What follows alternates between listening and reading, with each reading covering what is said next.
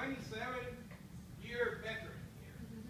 But I see around that there are a lot of more veteran experienced players.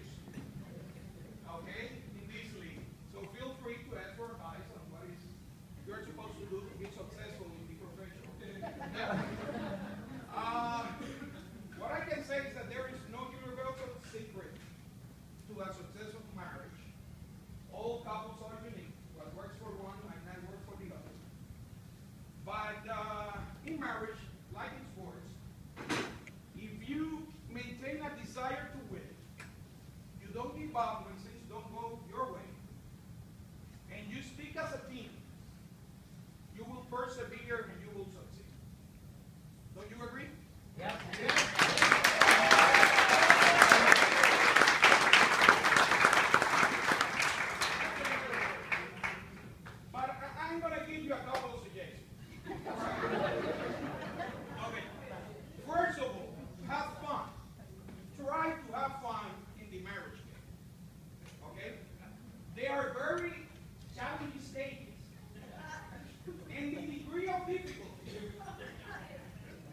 freezing.